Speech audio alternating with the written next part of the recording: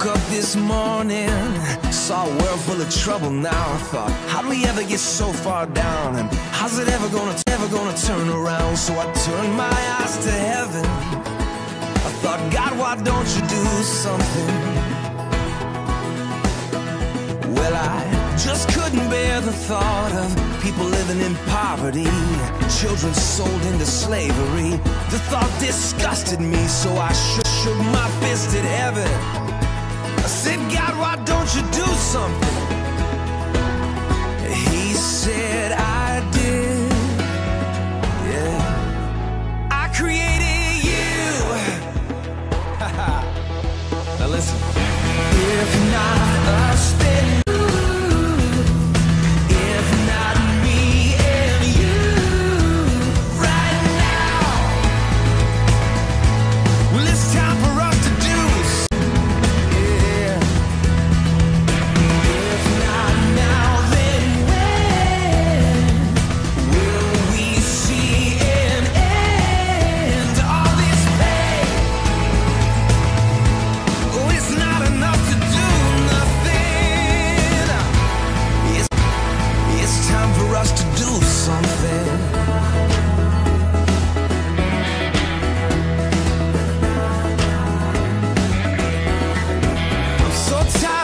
Talking about how we are God's hands and feet, but it's easier to say than to be.